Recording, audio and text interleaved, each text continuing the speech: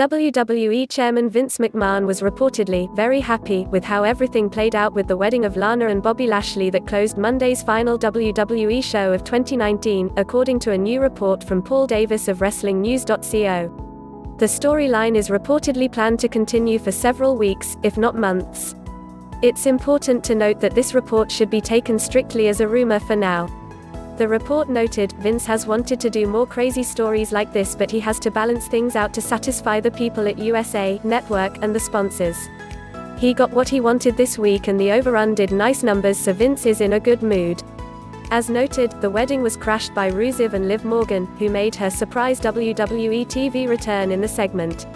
There's no word yet on exactly what is planned for the storyline coming out of this week's wedding, but the same source reportedly noted that this could run until WrestleMania 36. They said, they have things mapped out for the next few weeks and this could run until WrestleMania. Vince loves this storyline so much and he's open to more off the wall ideas. All I can tell you is there is some Jerry Springer stuff coming, it was also reported that Liv was not originally supposed to be in the Lana Lashley storyline, but plans changed as Raw executive director Paul Heyman wants to push her, so the decision was made to have her involved in the wedding program.